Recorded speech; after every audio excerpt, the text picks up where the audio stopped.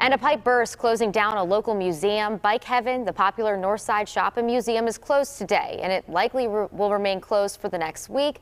Display cases, bikes, vintage gear, and the carpeting were soaked Saturday due to the flooding.